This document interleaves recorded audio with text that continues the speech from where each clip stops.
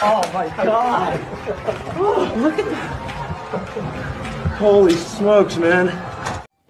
Trump, after the deal, meeting with his wife.